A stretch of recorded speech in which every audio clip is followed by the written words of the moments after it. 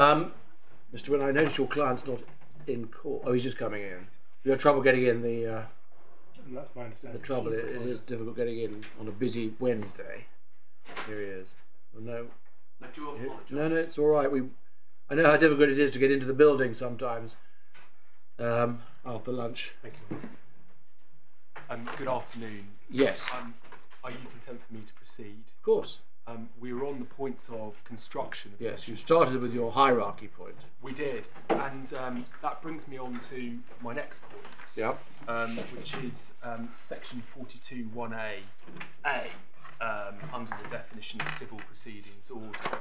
So we're on page 10 of the authorities bundle, A- and uh, the definition of civil uh, a civil civil proceedings order there is clear. No civil proceedings shall, without the leave of the High Court, be instituted. That is emphatic and clear that permission of the High Court is intended to be mandatory, um, and it's the institution of proceedings without permission that's prohibited.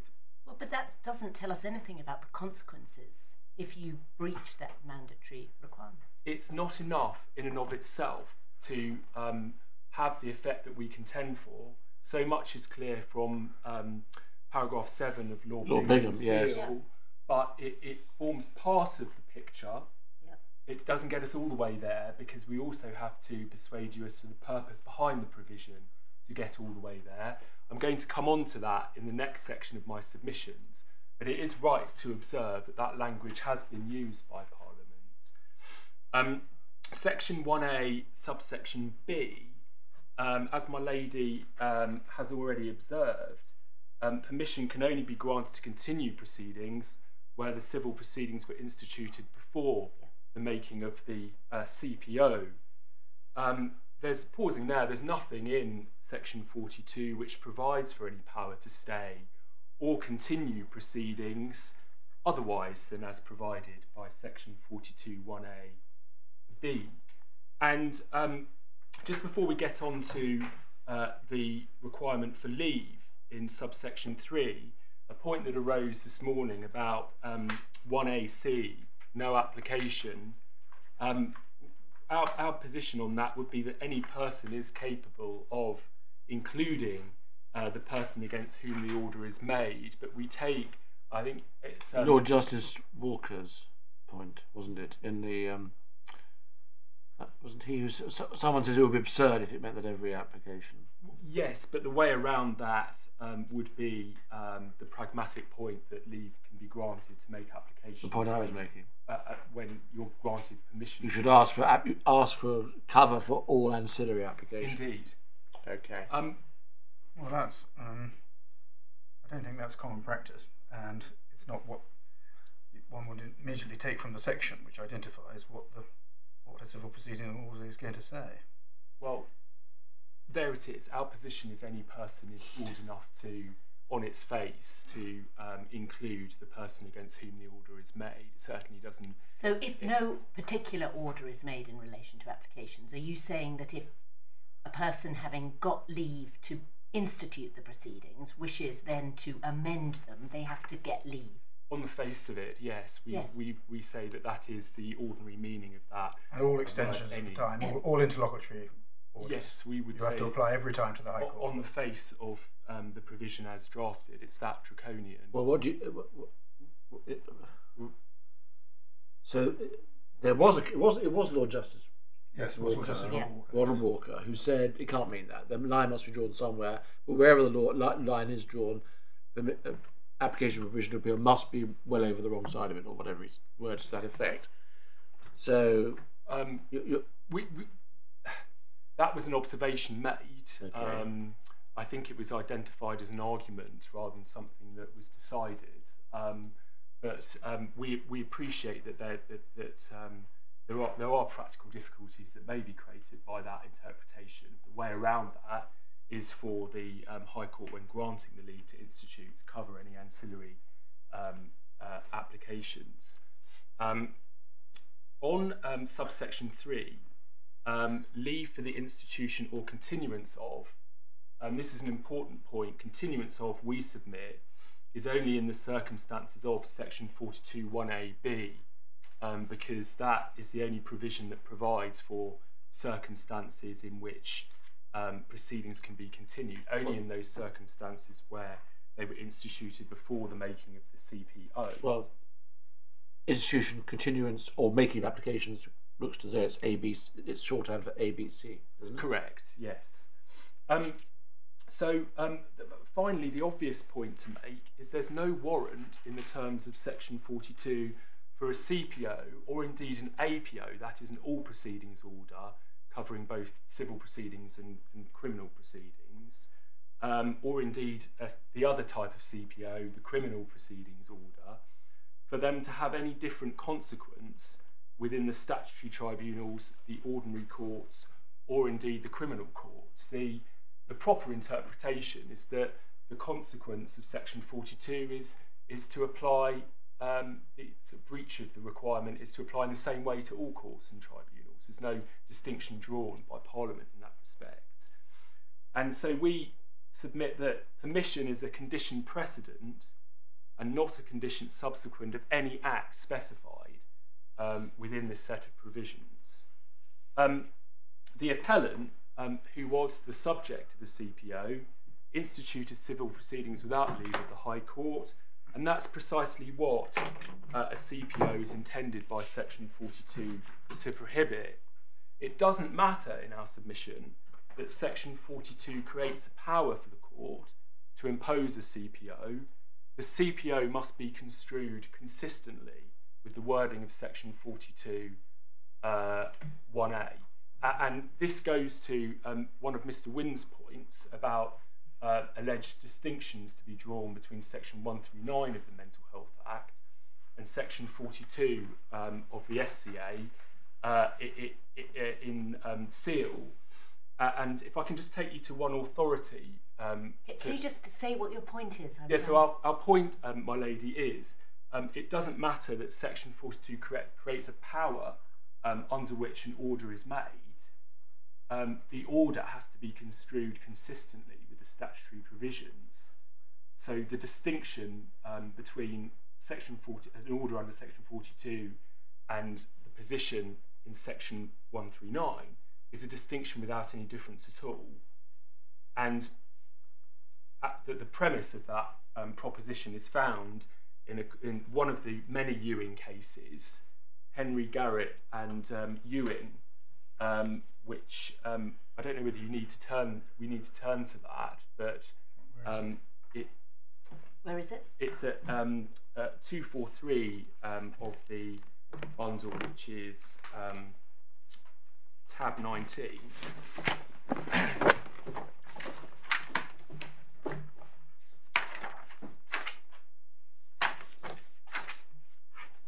And we get that proposition from Lord Donaldson at the bottom of 243, um, 1358, just under H.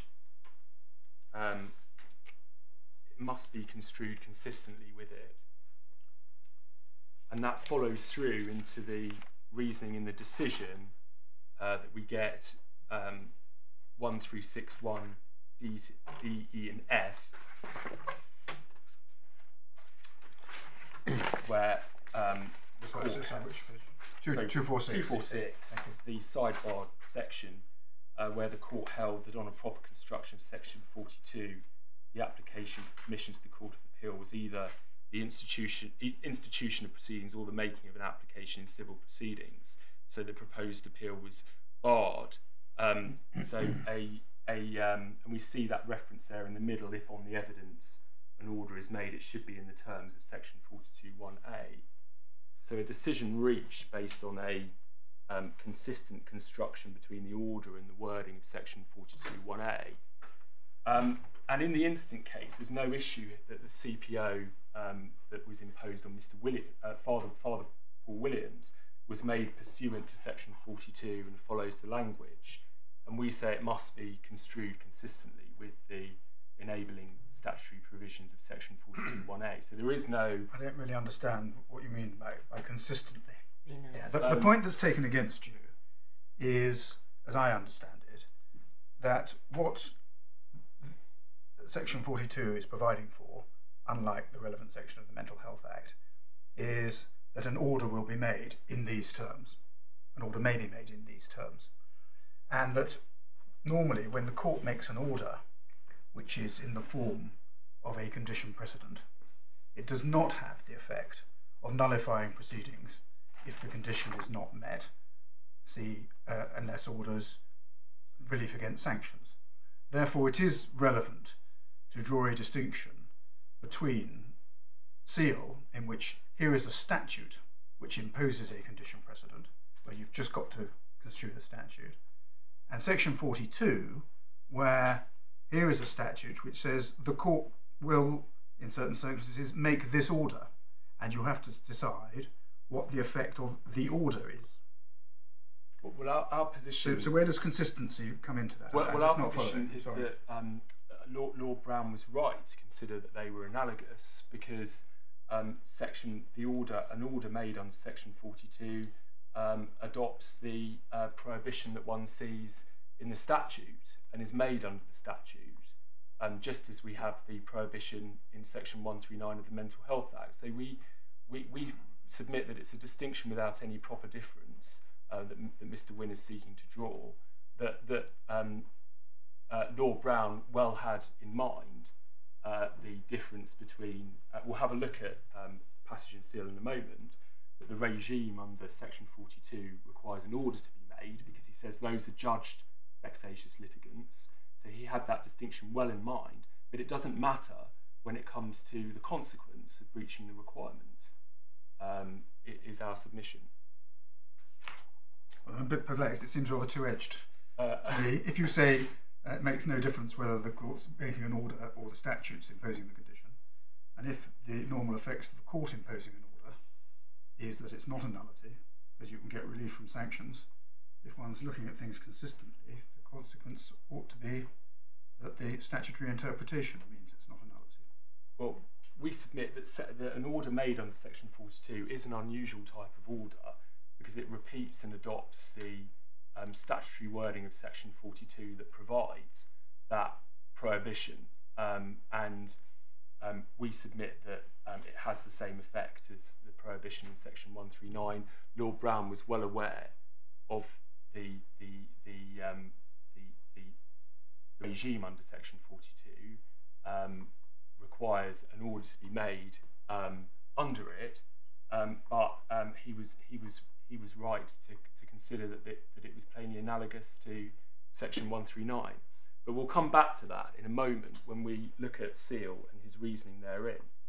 Um, we uh, on the object and purpose, and this is an important part of our, our submissions because it's quite right that the language of the statutory provisions are not enough to get us home.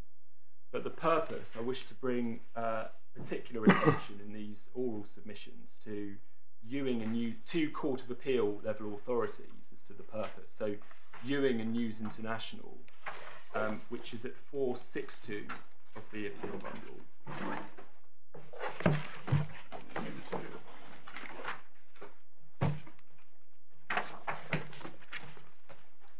Four six two. Tab 32, tab 32 is that volume Yes, 2? tab 32, uh, page 462.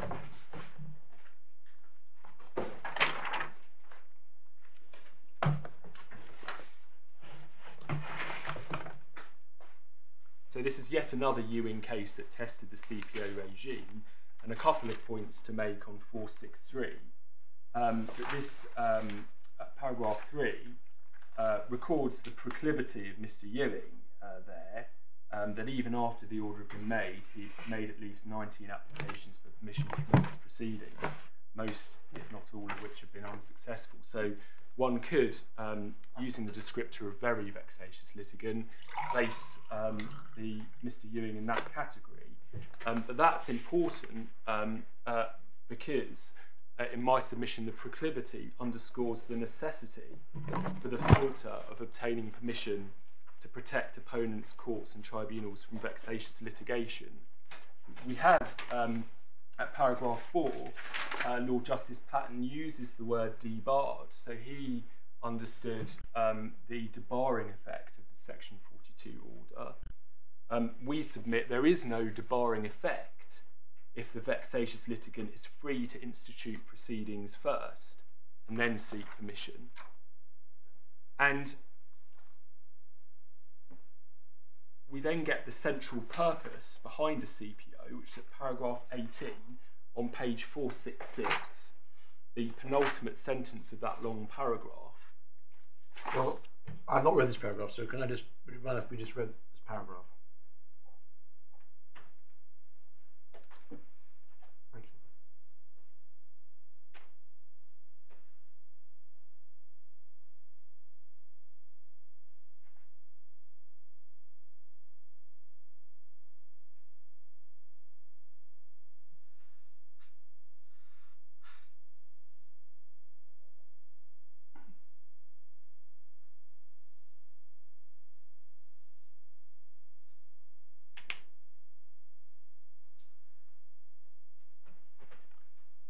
Yes. So, um, avoidance of unnecessary use of court time and resources, and to protect prospective defendants from the expense which that involves. So, um, a Court of Appeal level decision that states that the intention um, uh, behind a CPO is to provide a um, putative defendant um, uh, with Of course, those observations were made in the context of the rest of the paragraph, which is about um, applications for leave, isn't it? Uh, And how they should be dealt with. Yes, um, but that doesn't, i- i- in my submission, explain away um, the clear stated purpose of the CPO in that penultimate sentence. Um, it may provide some context in which um, that purpose is given, but we submit that that purpose is self evident. And a striking feature of the appellant's skeleton Well, argument. just hold on. The, these are applications before proceedings are instituted. These are not retrospective applications. Indeed, um, my lady, we, we take that, but um, there is some uh, learning to be gained from the statement as to the purpose of a CPO in, in that in that paragraph. Um, and a striking feature of the appellant's submissions is that um, he, he barely engages with that self-evident object and purpose of a CPO. The purpose just cannot be met if the vexatious litigant is free to institute proceedings, make applications, and obtain permission later. In the meantime, all of the uh, prospective respondents, defendants, courts, and tribunals will have incurred unnecessary waste of time, expense, um, and resources. And that may well include, certainly in a case like Ewing, a multiplicity of proceedings, including applications within those proceedings. And this is an important point, um, which I think was touched upon this morning, that only a vexatious litigant will, will know for certain that they are subject to a CPO, whereas a putative defendant court or tribunal may not. And, and in my submission, it's an important feature of the scheme in section 42 that Parliament has put the onus on the vexatious litigant to obtain permission first before instituting any proceedings um, or, or taking any other acts that are prohibited um, by the terms of section 42. Now, if proceedings can be instituted first without prior permission, that in my submission fundamentally reverses the onus um, that Parliament has intended and expressly provided by the regime, and the putative defendant, court, or tribunal lose the protection from the time, resources, and expense of having to deal with the proceedings until such time, whenever that is, that a CPO becomes apparent, and in the event that permission is later granted. And in my respectful submission, that is a recipe for chaos when it comes to um, those who are intended to be uh, the subject of a CPO. Um, the second authority on purpose I wanted to take the court to was Attorney General and Jones, um, which is, uh, I'm afraid I don't have the tab numbers um, in my notes, but it's 228 of the authorities bundle, tab 17.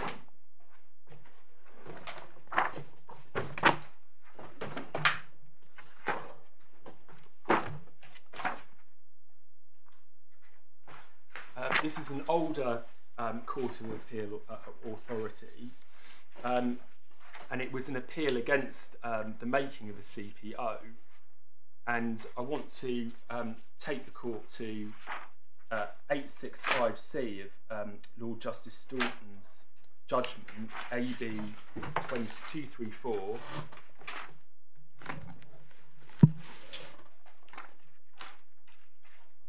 uh, at C to D, where he makes plain what the purpose of a CPO is.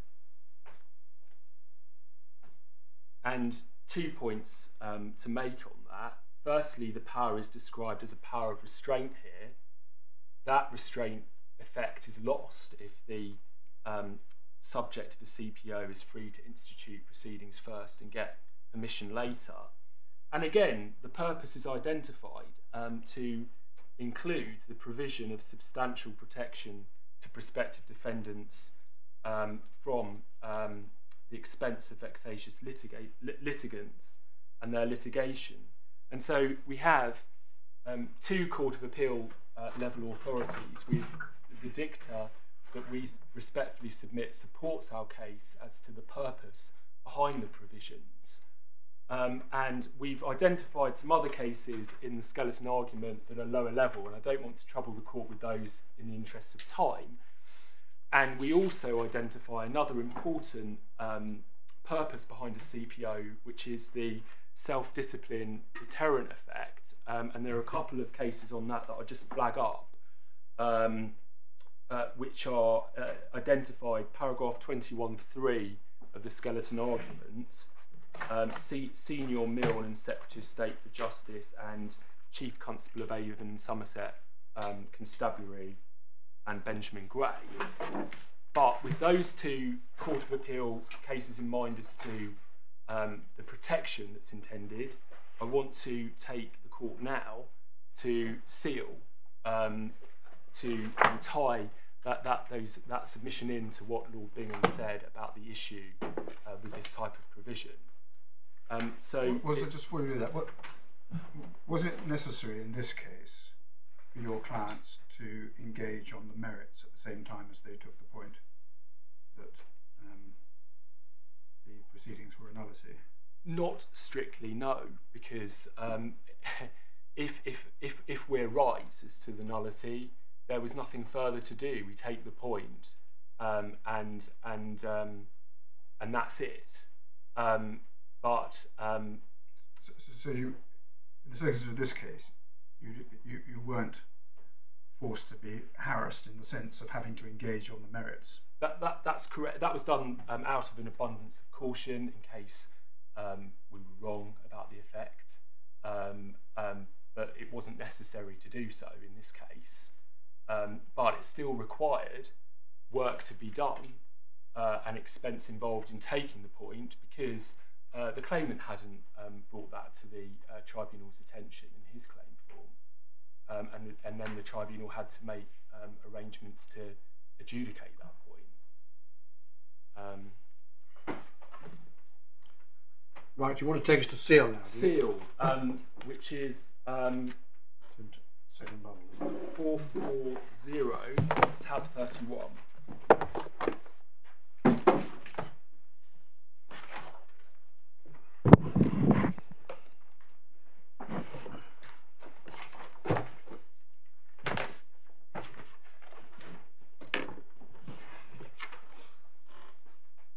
And what we have um, at paragraph 7, um, right at the very bottom of um, 443,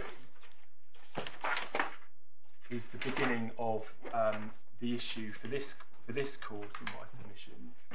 Um, and th there are two parts to this. The first is that first sentence. I do not think the answer to a question such as this should ordinarily turn on a detailed consideration of the language used uh, by Parliament in one provision as compared with that used in another. pausing there, we say that that um, is precisely the, the trap that the appellant falls into in seeking to draw comparisons with the insolvency context or the charities context, because these are um, uh, requirements in different statutes with different purposes, regulating entirely different situations to um, an order made under Section 42. And, and we've um, identified um, the points of distinction in the skeleton argument. We don't want to um, use up the, the time by taking the court taking the court to Park Choke, but it's it's wrong in principle in my submission to um, on that first part of um, uh, Lord Bingham's statement of the issue to compare apples apples with pears of, of re requirements in different um, statutory provisions and contexts.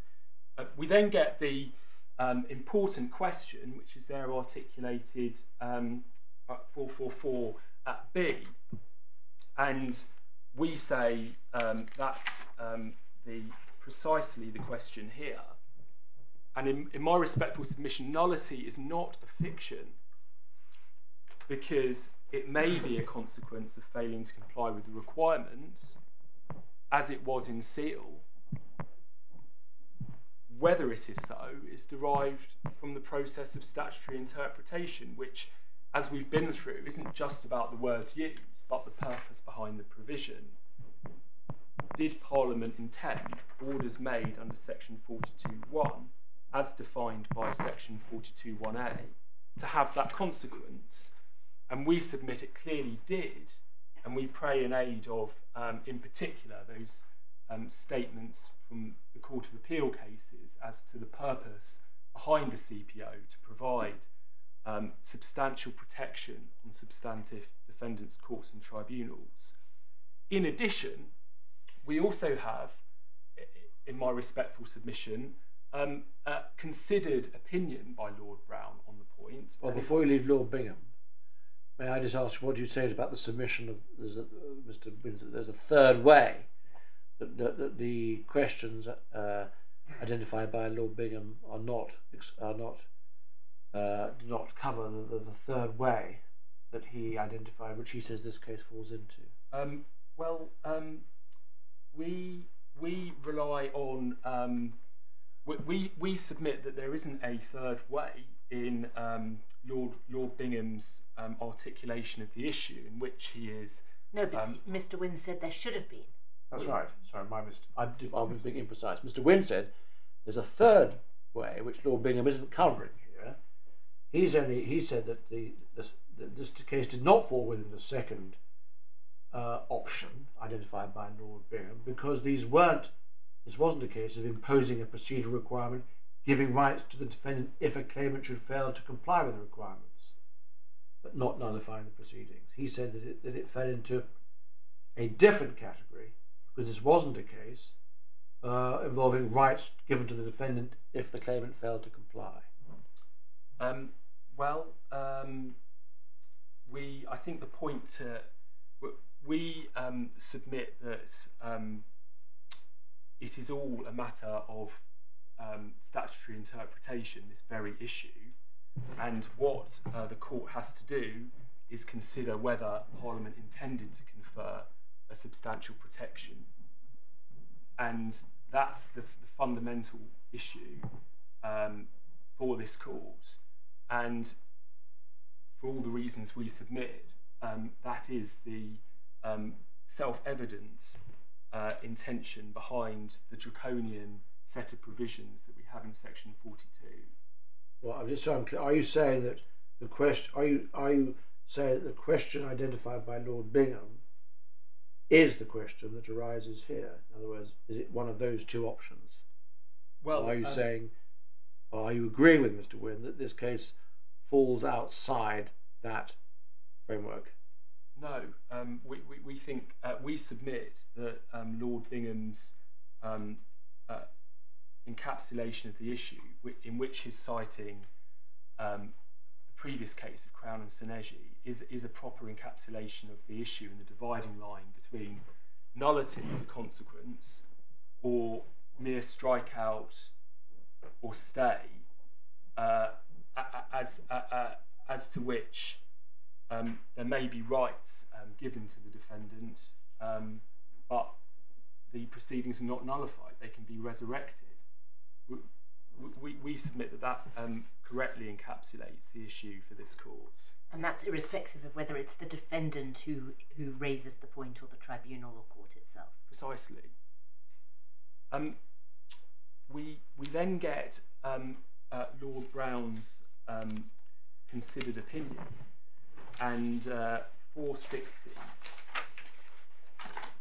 at paragraph 74, um, where he um, opines that section 42 wo- operates in the same way as section 139 of the um, Mental Health Act as a clear and inflexible rule. And um, we see there the, the reference to those adjudged vexatious litigants. And so that feeds back to my earlier submission that Lord Brown must be taken to have been well aware that Section 42 empowers a High Court to make an order to adjudge um, uh, an individual a vexatious litigant, whereas Section 1392 of the Mental Health Act does not. Uh, and so we submit, and I, I don't want to repeat myself, but there, the distinction between the two, as argued by Mr. Wynne, is a distinction without difference when it comes to the consequence of such a clear and inflexible rule in my submission. Now, it's important, this wasn't a throwaway comment by a member of the House of Lords, um, but a considered, opinion of an, an analogy with the provision that was before the court in that case. And moreover, that opinion received the support of the majority of the House because we get Lord Bingham at paragraph 21 on page 448 um, stating um, that I wholly agree with the opinion of my noble and learned friend Lord Brown. And we get Lord Carswell at paragraph 63 on page 458. Well, hold on. Lord, Lord um, Bingham, when he wholly agrees, doesn't talk about Section 42, does he? He talks about the Mental Health Act. No, but but uh, we. I don't think he even referred to Section 42. That, that's that, my lady. That is correct. He doesn't. But, Right. But his we we um, submit that where he says I wholly agree with the opinion of my noble and learned friend Lord Brown, he must be taken to have read uh, the judgment of Lord Brown, in which Lord Brown draws that analogy um, of the uh, between the clear and inflexible rules, and um, he uh, agrees um, wholly with, with that judgment, and so although he doesn't refer to it himself in his judgment, he's taken in my submission to have agreed with that. And Lord Carswell, at paragraph 63, on page 458,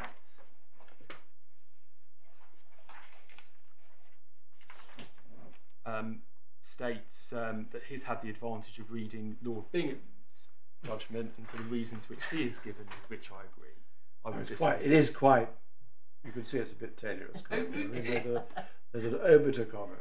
Okay, I accept what you say. It is a, it's a, it's not a throwaway comment. It's an analogy, but it's still obiter, arguably.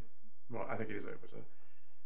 and then Lord Bingham agrees with him, and Lord Carswell agrees with Lord Bingham. So it is quite tenuous, isn't it? my lords, my ladies, I've seen stronger It, it becomes more and more remote with each speech that gets endorsed, but um, as a matter of construction of the judgment, the submission is sound that the majority um, agree with the opinion of Lord Brown. Um, what Uh, it you're I'm not saying sure. that we should take from it? That they're analogous? Well, where does it get you? w- well, we, we say um, that the, the specialist tribunals below were entitled to give weight to Lord Brown's considered opinion because he is a member of the But it House. wasn't bind. It was obiter, wasn't Of it? course, we accept it wasn't binding, Right. but um, there's dicta and there's dicta. There's a spectrum of judicial dicta, and it's a question of weight and authority for the tribunals below as to what they consider. Lord um, Bingham had said, and you rely on it, that it's not much use comparing that the legislative provision that you're construing with legislative provisions that occur in completely different contexts and under different legislation. And you rely on that in relation to the insolvency and the charities provisions. So why are you now suddenly saying that you can rely on this comparable legislative provision? Well, I, Um, th- I think I think the point goes more to um, the treatment um, by um, the, the the courts and tribunals below of that dicta, and whether they were wrong to accord such weight to it that it was effectively binding on them. It, and because ground three, um, I think, argue, and ground two, both argue um, that there were errors of law in the, in the treatment. Do you want to just show what um, uh, the EAT said about that? Yes. Um, so um, if you turn to um, um, core, if we go to the core bundle 36, page 36, and it's Yeah. paragraph 67.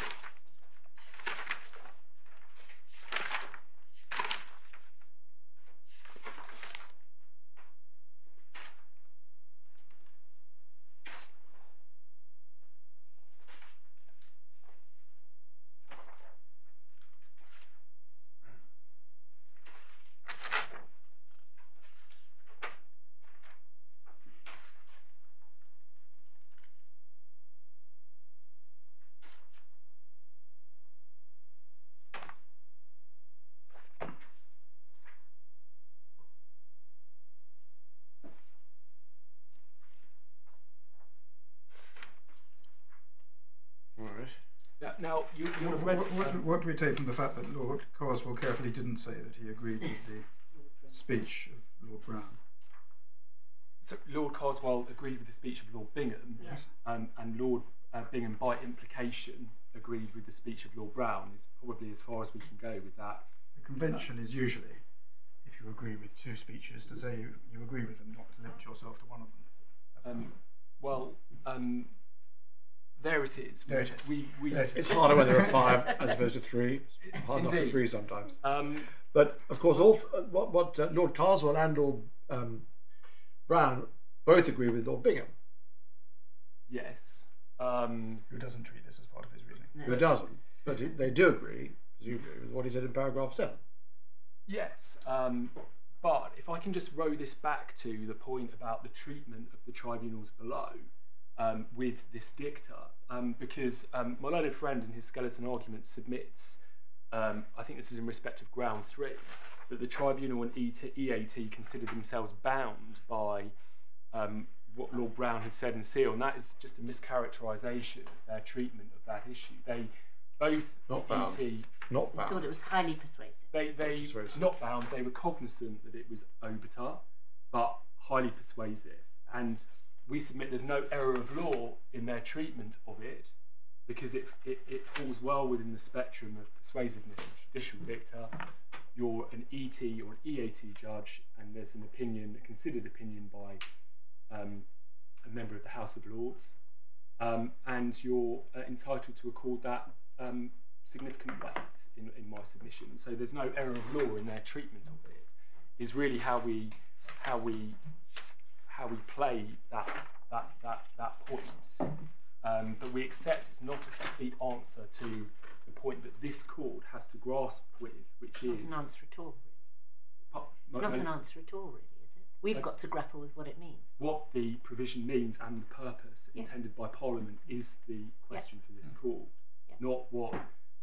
But but um, obviously this is a case where there's nothing that's binding on this court, No. But there there there is a selection of judicial dicta that one can see, Yeah. and um, that is not to be discarded. But in my submission can inform the court's um, consideration of the purpose um, behind the Your, provision. your case, essentially, I know I keep on going back to Lord Bingham, but for my part, I find it helpful. Your case, is for the because of the purpose, underlying purpose, coupled with the language, this provision falls within the type of provision identified in the first of his options, namely, Parliament intending to confer a substantial protection on the such as to invalidate proceedings brought without meeting the condition. Precisely. as opposed to merely, my word, a procedural requirement, but not nullifying. My you're saying you're saying it's, and that's why you emphasise the, the purpose underpinning the language.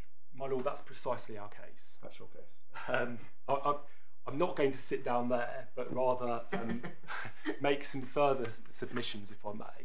Um, but that, that is precisely our, you have um, the point. Um, um, the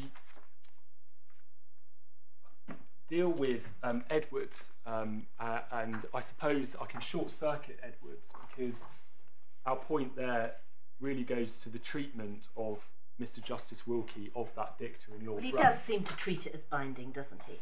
And you accept he shouldn't have. We we we take it. Uh, if I may, um, we we. Does it submit- matter? Does it matter? Really? I mean, it Yeah, doesn't we've got matter. to- we've got to decide it. decide what it means. I, I think that's that's right. It doesn't really matter, but just um, so in case the Is there something in what he, what the judge said in Edwards? he was think- also cognizant that what Lord Brown said was obiter. But Yeah, again, yeah, so yeah, what? yeah. But, but um, Is there any aperçu that he comes up with which adds to your? No. well, there is. Um, he does what? Um, again, this is a lower lower court decision, but his construction of um, the the continuation of proceedings provision, section forty two one B, and the leave provision, i- i- is a holding he makes that supports our, our submission of on, the construct proper construction that you cannot continue proceedings unless um, uh, they were they were instituted before the CPO was made, and um, just flag that up. Um, I, I haven't understood that to be an issue as a matter of construction of section 24. it's I- it, I, the, I'm just going to tell me if I'm wrong. I, I thought it was accepted that the continuation provision was intended to apply to proceedings that had been commenced prior to the CPO. Yeah. I think that's common ground. Yeah. But Mr. Wynne will stand up and say if I've got that wrong. Um, I don't quite understand the point. I'm sorry. Is this in relation What relation Mr. Kemp to... is submitting, uh, which I had thought you accepted, is that section 24, sorry, 42, Oh, yes. Uh, I'm now... 1A B, in providing uh, for, for a reference to civil proceedings um, not being continued, was a reference to uh, civil proceedings um, which had been commenced prior to the CPO being made in the first place. So the, the prohibitions, if you've got existing, at the time of the CPO, if you've got existing um, civil proceedings, he can't continue them except with the leave of the High Court. If you haven't yet got, that's B. If at the time of the CPO you haven't got any proceedings yet, then it's it's A that matters. You you you you've got to get leave to commence them. Uh, That- yes. that- wh- wh- that, that's not inconsistent with your ground. You can do so retrospectively. Yes. I, I say that But the... but, but that, that um, I don't think you were suggesting that it's it's one A B which founds the jurisdiction to allow proceedings to be validated by leave which is granted after they've been commenced. Uh, my lord, you're correct. I say the jurisdiction exists because... Because they're not a nullity. Yes, because they're not only because this doesn't go so far as to cause them to be annulled. So I think I think I'm right in saying that the point you're on is not is not very well. If I move on to my next um, topic, which was to deal with my lady's point about the ET's powers to stay and make unless orders, insofar as that may be of assistance. You're not pursuing any further points on Edwards. Um, I think, for my part, I think that's right. I've, I- I've, yes. I've just had a quick scan, and I agree with the lady. There are no aperçu. Um, that he regarded himself as bound by. Well, I think, with respect to the judge, uh, paragraph twenty-five is not right. So I don't think we need to any more time on. um, He wasn't bound by a seal, and his comments about what this court did in Johnson or Vaux don't seem to to let's we- be on the point either. But I don't. There, there it is. Um, it we- is. we What, you're, going, you're going on to my lady's point now. We, we are. Um, we, we just want to. Um, no, I'll, I'll move on. I did. I did think that what he meant was effectively bound, but um, it, it's not um, really what Edwards is not really what matters. Given the court. binding, given the binding authority, is his phrase. Okay, So Milady's point. the stay points. Um, so, um, so, so, so our primary position, as will be clear, is that the co- a court or the tribunal's jurisdiction in respect of those subject to CPOs is obtained from Section 42 of the SCA and not from the ET rules or the CPR. Yeah. And so, um, and you've, you've, you've heard my submission that Section 42 doesn't make any provision for stay or for continuation of proceedings other than those instituted before the CPO. So, if proceedings are instituted without permission, our, our primary position is the proceedings are invalid, a nullity, and there's nothing on which any stay or unless order can So- attach. Nothing in the rules is ultimately relevant. Indeed, that's our primary your point. So all, any concerns about lacuna in the rules is on either here nor there. I, indeed, there is no lacuna because it's spoken for by Section 42. We, we um, however, further and in any event, um, we submit that the ET rules um, do not further the object and the purpose of the CPO because, um, and I had hoped to avoid a trawl through each of the rules, but in essence, our point is that at every turn, be it the um, rejection of substantive defects, Rule 12, or at Rule 26, initial consideration, or Rule 27, dismissal, or strikeout Rule 37, or even unless order, there is a right for the vexatious litigant to um, have an opportunity to make further submissions, including requesting a hearing for that to be determined, um, to revive um, the proceedings, and we submit that frustrates Parliament's purpose, clear purpose behind making a CPO, which is that the ordinary rules of the tribunals and courts simply haven't worked. What is required now is the most draconian type of order that can be made, uh, which is a debarring one. Um, and so um, we, we th- those are our submissions on um, the, the potential relevance of the ET rules. Um, My lord. Um, That's it. that, that's what all you're proposing to say on the rules, is it? it, it is. Um, that was I'd just be interested in your in your submission on on the point that which we, which we were canvassing, which is on the assumption that it's not a nullity. Would there, in any event, be jurisdiction to make an order of the kind that was being envisaged, or would that fall foul of not being a case management order empowered by Rule 29 because of the definitions in Section 1.3? Do you, do you have a view on that? So well. that's the case case management or judgment issue. they're mutually exclusive. You cannot have it. You cannot have both a case management order and a judgment. And it would appear that the type of order that's envisaged is is is is is both. Why couldn't you have an order with two clauses, one of which came into the definition of a case management order, a stay, and one of which was uh, the unless order, which would be a judgment. That may deal with that may deal with the point. I mean, the tribunals are designed to be more flexible in their approach um, than the, the civil courts, and that would make sense. Another option um, would be that you'd have to have two um, decisions: one, the stay; two, the unless order. But we think in practice, it's likely that tribunals would would do both. They'd have to make it clear what they were doing at the same time to What satisfy. rule would they make it under? Um,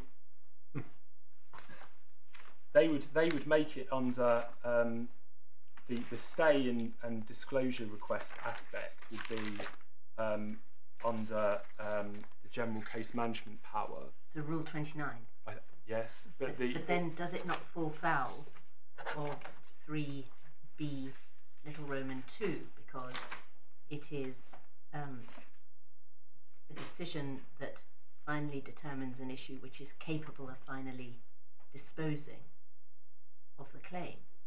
Um, not if it was. Um, well, it, it would have to. Um, so I, I think if it was simply a stay pending receipt of the of the um, application for permission and indeed the uh, permission, um, it would it could fall within um, the, the general case management order power.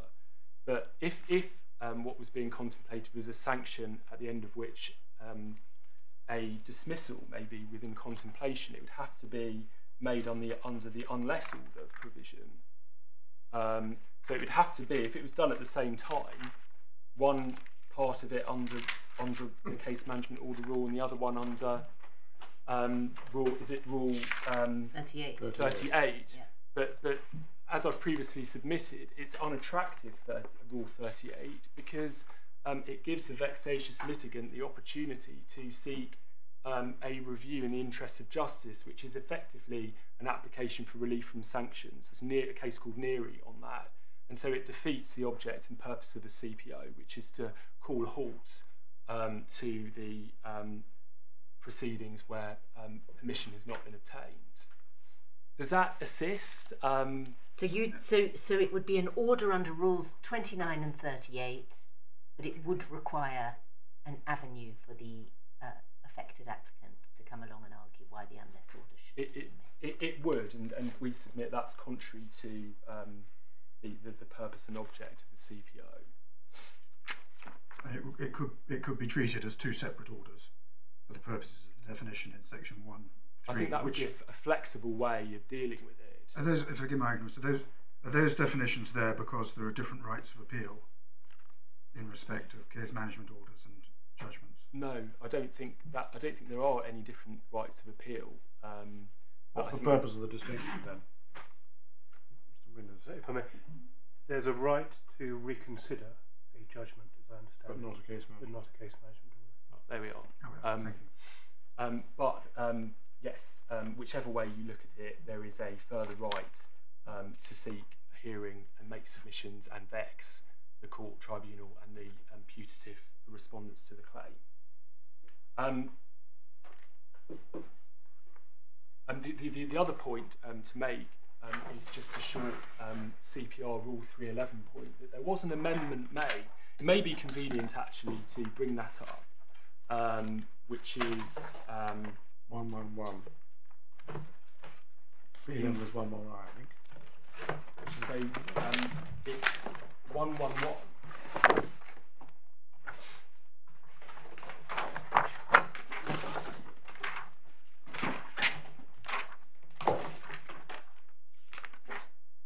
So what we get at um, 3.11 subsection 1 is an amendment that was introduced, I think, I believe it's October of last year in the amendment rule, number 2 rules 2022, to incorporate um, the, um, the definitions of, or the, or the, the, the, the statutory provenance of um, civil proceedings order, order and an all proceedings order.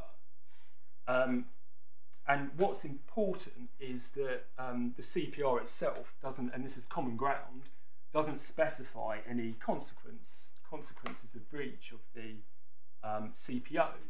And we submit the reason why is that those consequences are self-evidently provided by the statute, and that is what um, the um, those um, who amended the rules would have had in mind by um, simply providing the statutory provenance for or, or the jurisdiction for the order, rather than the consequence, which only applies to the lesser civil restraint order um, uh, beasts, if I call them that, um, for whom uh, there was a separate practice direction, practice direction 3C, that specifies the uh, consequences of breach of the order, automatic um, uh, uh, dismissal, um, sorry, automatic strikeout or dismissal without any further order, which in a sense mimics the, the Grepe and Loam um, inherent jurisdiction articulation of the, of the, of the consequence. Um, and insofar as it's relevant, um, whether we can draw anything from the cases in respect of CROs, and just pausing there, we do have in mind um, the paragraph 7 of Lord, uh, Lord Bingham's point about comparing different things, but I suppose it may be odd that these are um, to some degree regulating similar mischiefs. Um, but we have um, on the um, Mr. Wynne takes as read that the, the sanction, um, the consequence in, um, in respect of civil restraint orders can be subject to an application for relief from sanctions. Whereas you question whether Mr. Justice Arnold was right. We, we do, and the reason for that is that Volupoli predates um, Cooper and Volupoli, w- as far as we can see from the um, the judgment in Cooper, um, wasn't um, uh, put before the courts to consider, um, and so um, Mr. Wynne, it cannot be taken as established in my submission um, authoritatively that um, uh, a, a um, dismissal or automatic strikeout in respect of CRO is intended to be subject to an application relief from So you're sanctions. going, to, you're going to argue that your argument is that the analysis of Mr. Justice Mostyn of Lupuli undermines what Mr. Justice Arnold said in Cooper. Yes, and Mr. Justice Arnold didn't have the benefit, as far as we can see from the um, judgment in Cooper, of seeing Mr. Justice Mostyn's consideration and reasoning of the issue in Volupoli. Which aspect of Mr. Justice Mostyn's reasoning So, say if we- Justice Arnold? So it's the um, we just uh, part 39.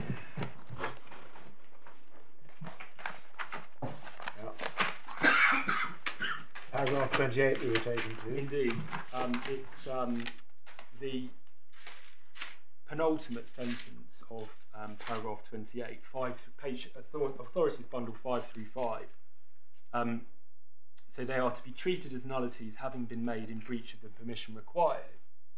Now, in our respectful submission, that's clearly what Mr. Justice Mostyn meant as to what um, automatic dismissal meant um, within the terms of the practice direction.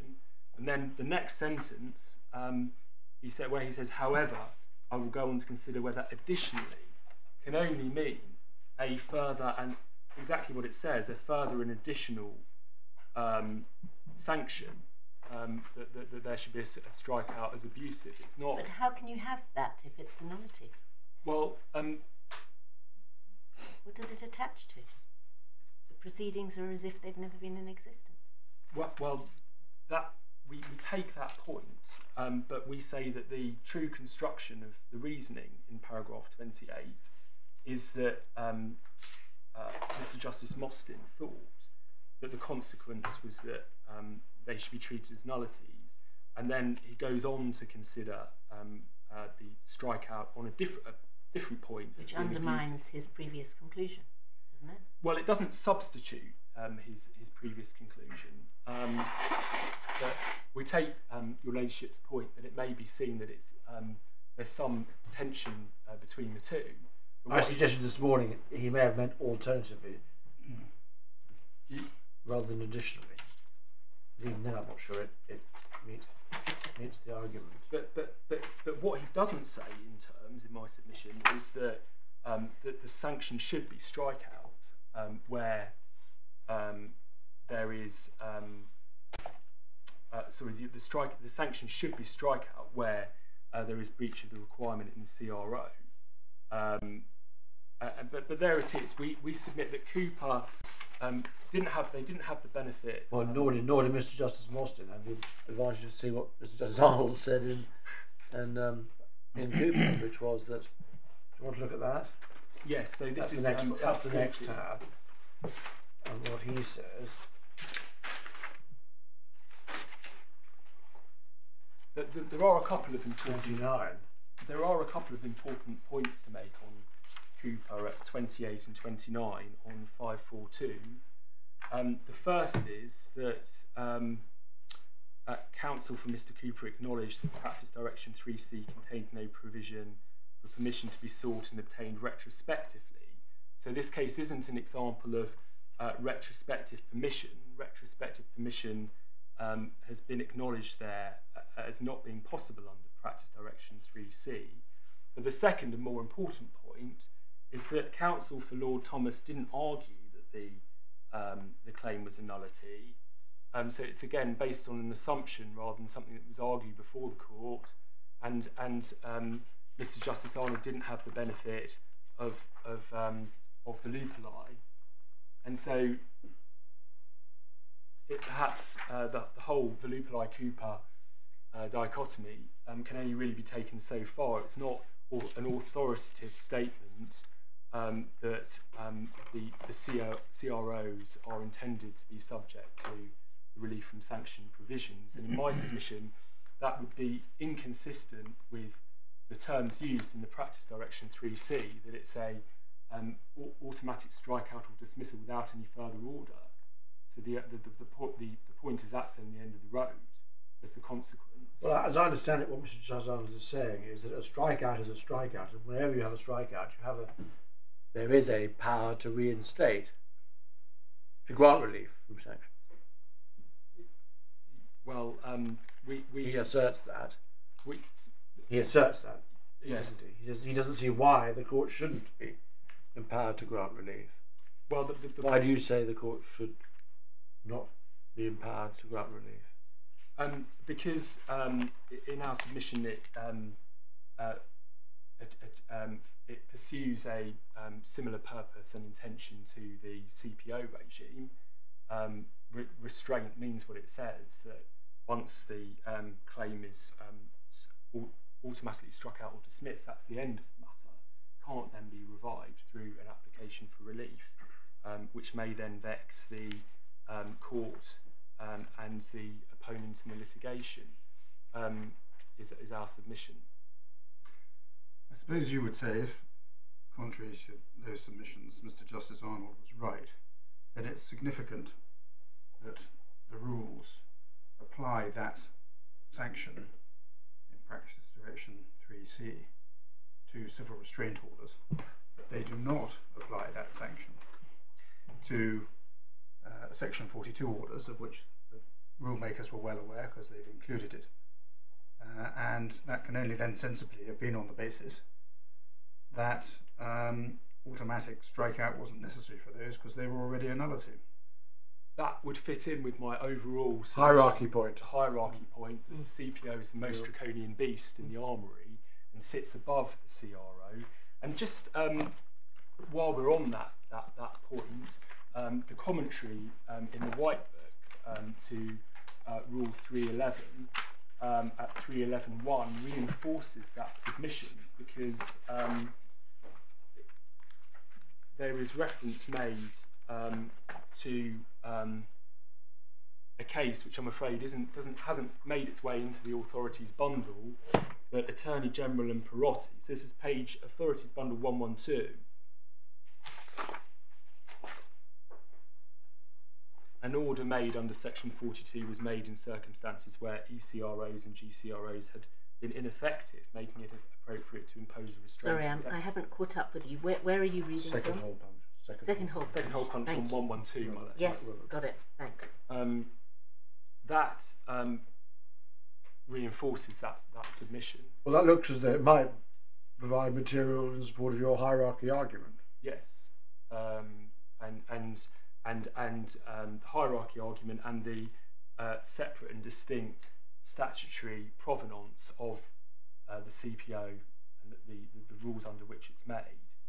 So Um, drawing these together, those together, the scheme would be that a CRO does make express provision to be struck out automatically, which brings with it, if Mr. Justice Arnold is right, the power to, grant relief from sanctions and have that reversed, whereas the CPO doesn't because it's higher up the hierarchy indeed, to deal with cases where CROs have not proved effective. it's the last resort and the most draconian power that the court has to deal with vexatious litigants. Um, that that would be our submission. So um, we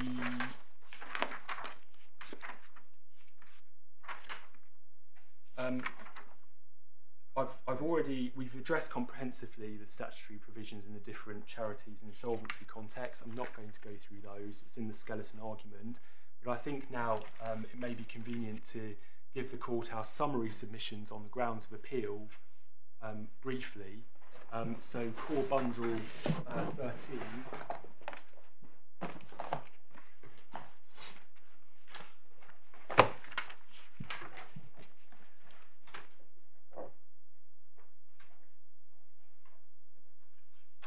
Now, um, I think the first point to make is that Mr. Wynne is right, but the issue for the court is as both parties agree, um, and whichever way that the court decides that, that's really disposes of the entire appeal. Um, but um, so so we, we agree with that. Um, but um, one point um, to make is it, it did seem to be a thrust of Mr. Wynne's oral skeleton argument and to a greater extent his oral submissions that Article 6, uh, CPO was incompatible with right of access to court, Article 6.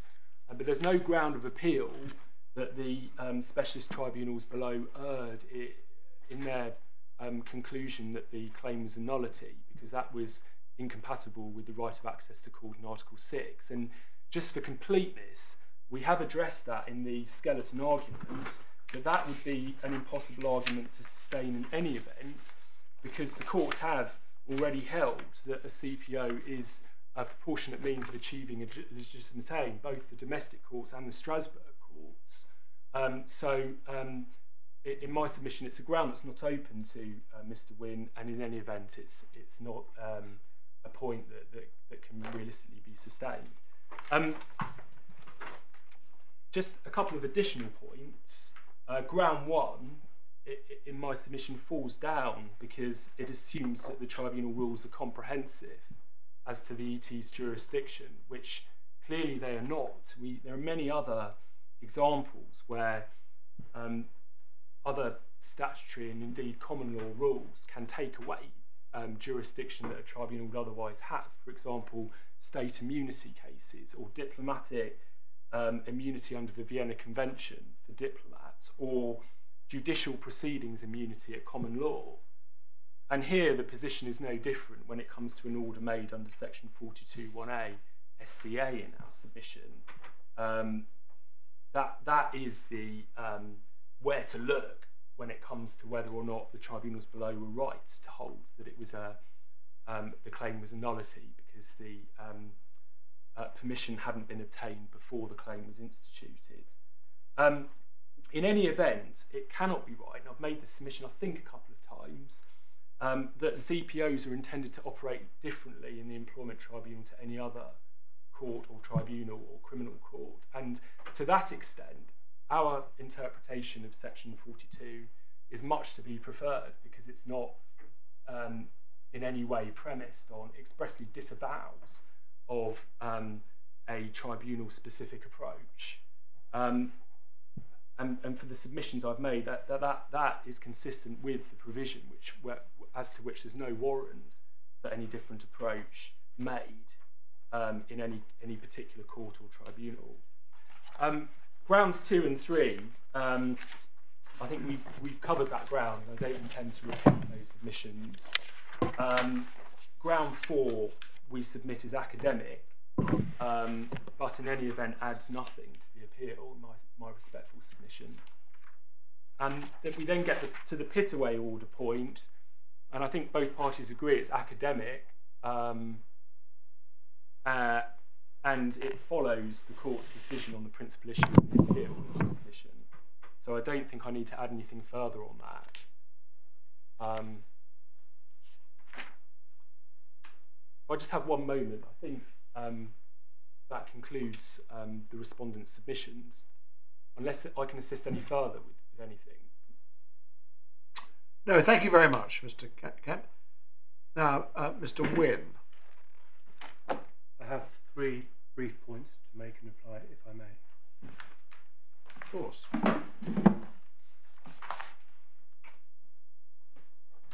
you want to say anything about the implication for the decision of this case on other rules in other courts? The point just made by Mr. Kemp, and we sort of touched on it this morning. We, we didn't. In, particularly in relation to CROs, CPO. CPOs. CPOs. So my understanding is that there are no specific rules addressing CPOs. The so section 42 Stands by itself. stands by itself.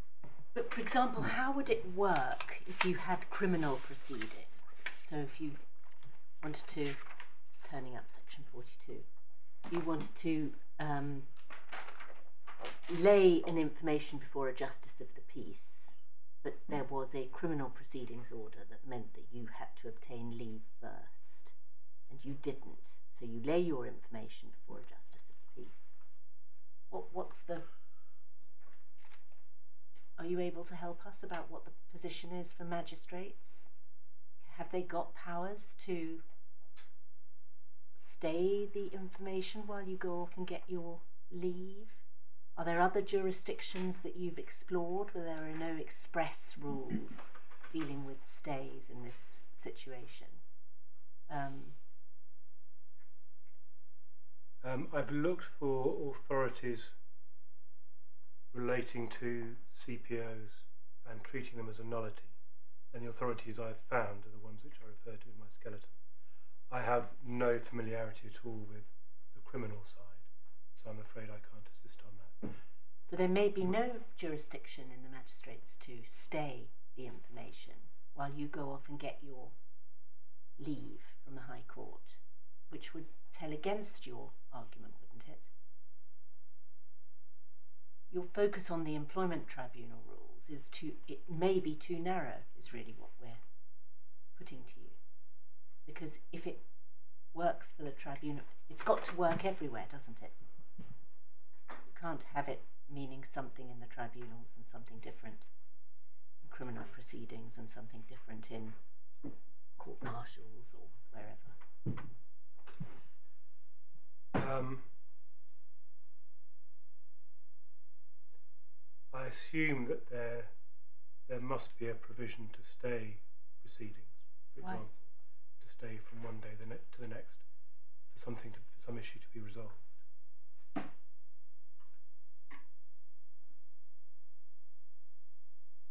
But my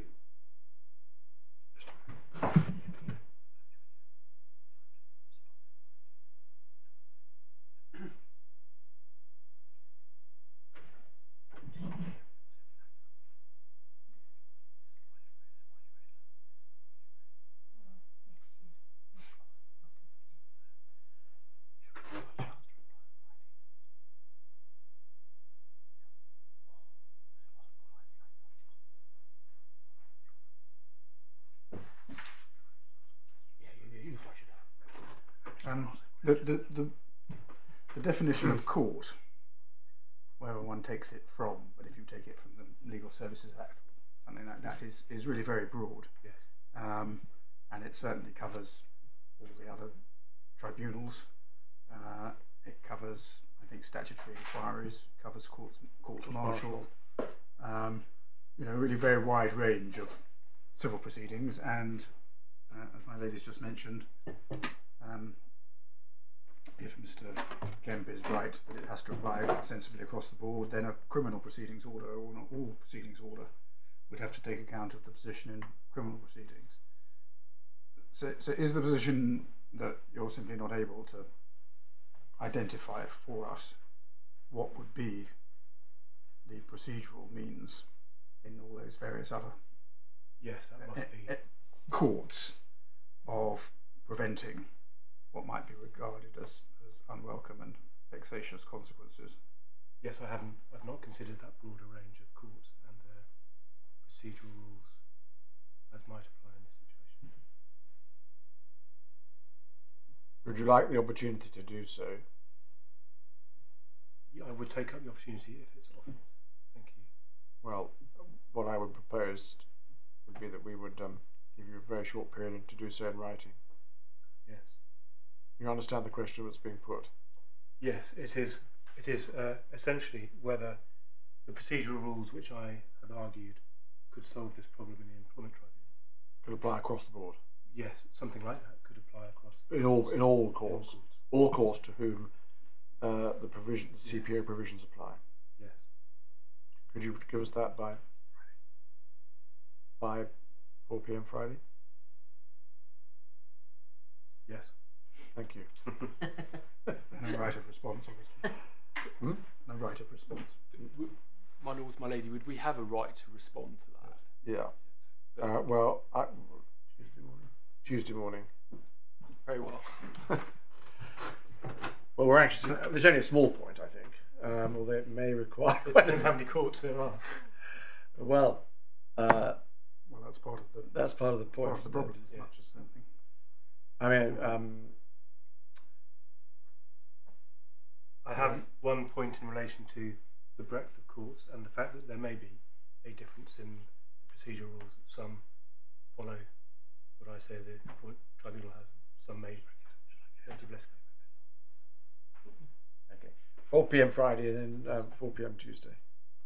Yes. But if I may, I'd make a further submission, which is that because of the importance of the PICS principle, because The it's the PICS principle oh yes, pitch, pitch, yes, about clear words yes.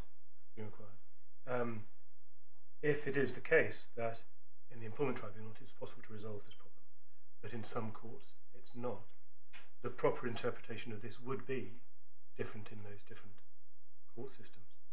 It shouldn't be that How the can it be? Sorry. The same words must be interpreted differently depending upon which which jurisdiction you're in. Is that what you're saying? Uh, yes, the effect should be different. If if there is no way in which the words can be interpreted, let's say, in the criminal courts to enable a stay, then that is harsher. That is the limit of what can be provided for in a criminal court. it would be a it would be a nullity. A criminal proceeding started would be a nullity, whereas an employment tribunal proceeding would not be. If if the point turns on the current procedural rules, yes, that is my position because no interpretation of this should prevent somebody bringing their claim to court unless it's because of PICS. yeah because of PICS. Thank you. Right. Okay. Yes. So my three, uh, hopefully brief points in reply. So if I could take the court to section 42.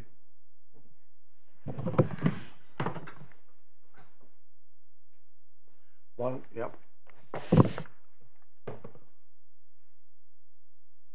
So I wanted to make the point that so we've looked at 1A and whether an order renders whether an order under 1A renders proceedings a nullity if they're brought in breach. But there is of course the issue under subsection 3 of the means, the method by which leave is obtained. Now I say that uh, if it is the case that these sorts of proceedings are not a nullity, then 1A and 3 should be considered separately. 3 when prescribing some conditions, some restrictions on when permission can be granted. When it refers to institutional continuance of or making of any application, that should cover granting leave retrospectively. M- my point in essence is if proceedings are not a nullity, subsection 3 should not be used to remove that benefit to the claimant. So subsection 3 should be interpreted to not restrict and to not restrain the attempt to obtain retrospective leave. Right. That's my first point. My second goes back to the procedural rules which we supplied this morning. Um, rules 1, 3, B, 29, and 38. So, Sorry, you just go back to your previous point? The, the, in um, the situation you're envisaging, start proceedings and then go and get leave. I had thought you were suggesting the power to validate the proceedings by granting leave, albeit after they've been commenced, was found in 1A A. You just give leave to institute the proceedings, albeit that we're only doing so after they've been instituted. But are you saying no? That that doesn't give you the power. It's it's it's one three which gives you the power. It's the, it's the power to um, give leave to continue in one three that provides the power. Uh, 1AA, if the claim is not a nullity, permits retrospective leave. Yeah. Um, 42.3 should not in any way curtail that.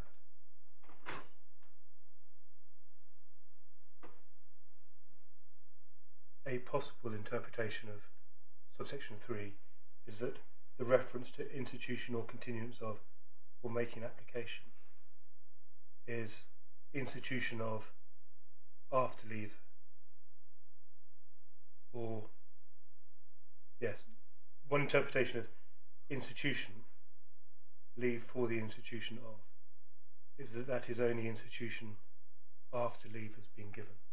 And I say on the proper interpretation of 1AA leave is available retrospectively subsection 3 should not be read as to restrict that further restrict it in any way Really? So if you apply beforehand, you can only get leave uh, if you satisfy the High Court that the proceedings are not an abuse and there are reasonable grounds for, for the proceedings.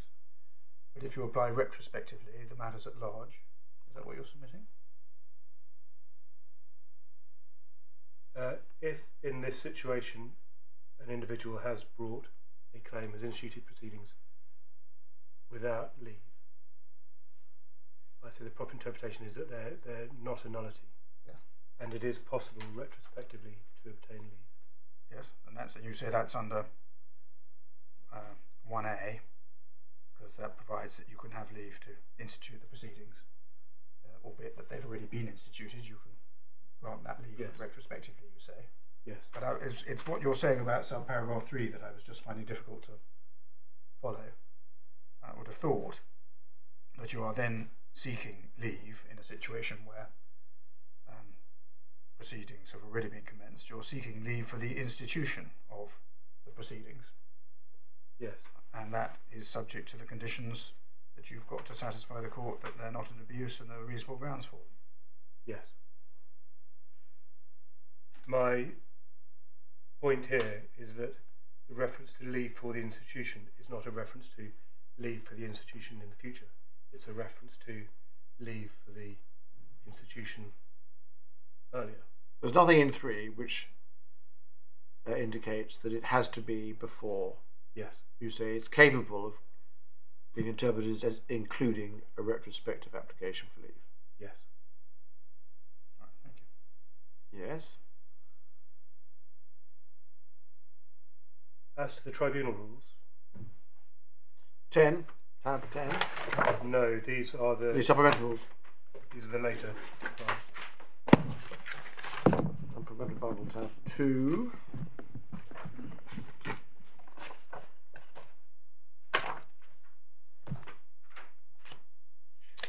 So So this is, yeah. Yes. So, um, as I think we all understand, the order which I say can be made is one for a stay to order the provision of this uh, High Court leave order and an unless order. I wanted to be clear that my understanding is the unless order, the power of the unless order, does come from Rule 38. It doesn't With what consequence? For this case. with the consequence that if the individual has not provided a copy of the High Court order within the period Yes. prescribed, uh, the matter will be automatically struck out. Is that a case management order or a judgment? So uh, I've got two responses to that. The first is I say that Rule 38 falls within the dis- within Rule 29. It's one of the examples of a case management order. But turning to Rule 1 3b, I say that an unless order starts off as a case management order. Because if we look at 1 3b. It is a judgment being a decision made at any stage of the proceedings, which finally determines. Now, at the point at which an unless order is made, it hasn't finally determined because if the order is complied with, all of the issues remain to be resolved and the matter continues in the normal fashion. It says an issue which is capable of. See, for example, strikeout.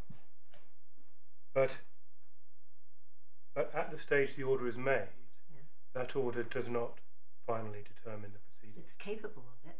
If, if there's non-compliance, it will automa- lead to an automatic strikeout. So at the point at which, so potentially at the point at which, Well, that's why it says capable of. but there is a, those types of orders or decisions that fall within the concept of judgment are narrower than what we find in subsection 2. They are narrower because of the, Okay. the phrase which, fi- which finally, it's only if such an order Are you saying that an unless order d- is, does not fall within two because it it doesn't finally determine the issue? It's only this actual strikeout which determines the issue, even though it doesn't necessarily determine it because it can be set aside. Is that what you're saying? The, un- the unless order is a, is is a is a case management order. I say the order at the time it's made is certainly a case management. and Doesn't- the actual strikeout is a judgment, even though it could be set aside. yes, it may be, but I do wonder whether, if we look at the provisions within Rule 38, whether these actually recognise that an unless order doesn't generate a judgment, because the the the, the reference to a, a judgment in the rules, as I understand it, or usefulness of it being a judgment, is that it can be reviewed under Rule 70. I think it can be reconsidered Yeah. under Rule 70. Rule 38 provides for an equivalent.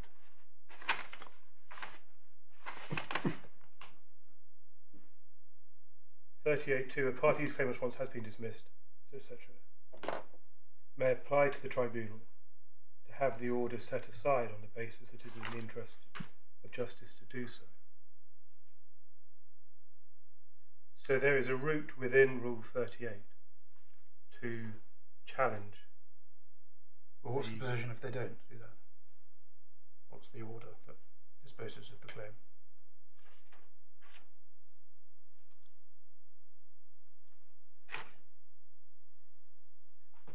Potentially it is the unless order, but it's only at that point of failure to comply that it's changed its character to one which has finally determined the proceedings.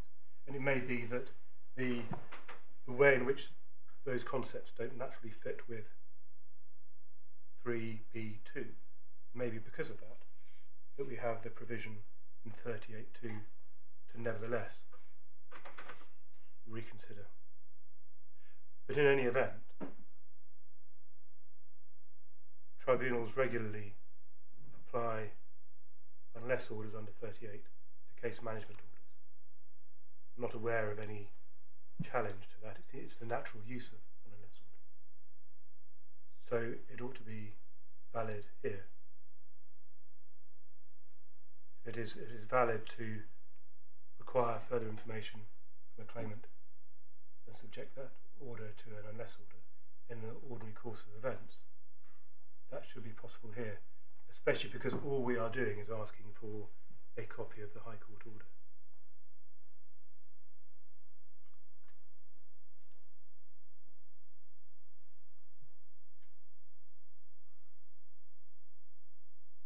My, my third point, in relation to the argument that there's a hierarchy of comparable orders, CROs, CPOs.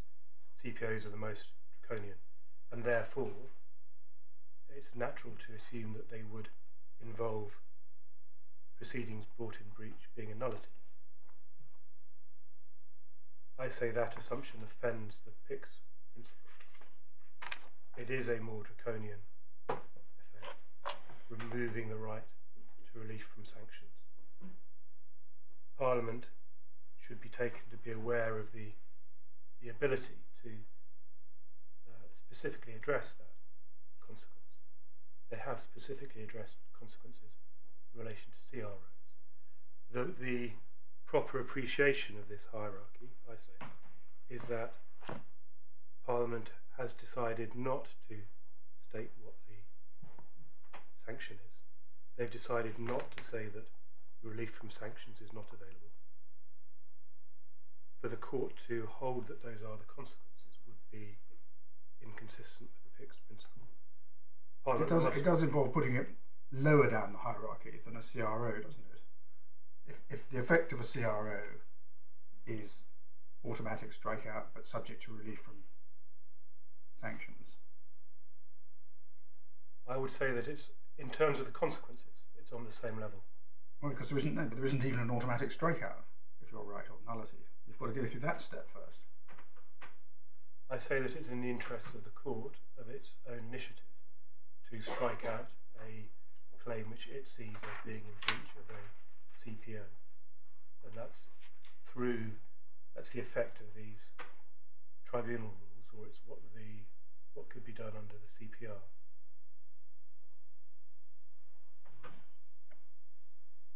Um, but if there is a lacuna, if there's been a failure to deal with this issue, if in fact the court takes a view that the response should be firmer and more draconian, it is for Parliament to make that clear rather than for it to have failed to deal with this point.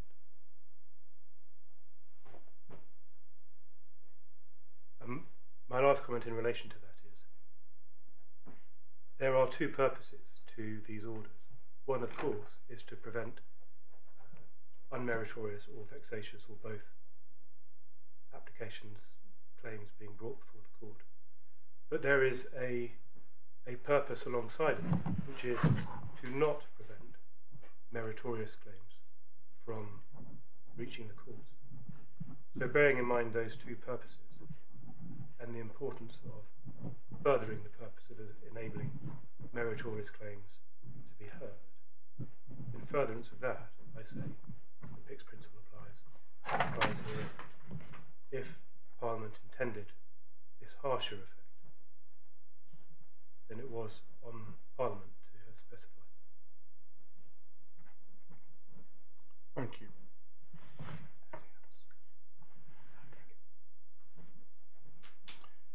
Well, thank you, Mr. Wynne. So we'd be grateful if you would prepare written submissions by 4 p.m. on Friday, with Mr. Kemp uh, and your junior to reply by 4 p.m. on Tuesday. Yes. We're very grateful to you both for your uh, written and oral submissions, and to those who sit behind you for their preparation of the case. We're going to reserve our judgments. In due course, uh, draft judgments will be sent out in the usual way for you to provide corrections of any typographical mistakes or minor errors of fact. It's obviously not an opportunity to re-argue any of the points. You understand that? Furthermore, please bear in mind and comply with the rubric at the top of the draft judgment, which provides strict rules about the uh, circulation or against the circulation of the draft judgment, and warns you that any uh, failure to comply with those that, that uh, direction will be a contempt of court. Um, when we uh, send out our draft judgments, we'd be grateful if you would also agree the terms of an order um, that reflects what we've decided. Any disagreements about you or any issues about ancillary issues arising out of our judgment should be dealt with by short written submissions and will be resolved on paper. Thank you very much. All rise.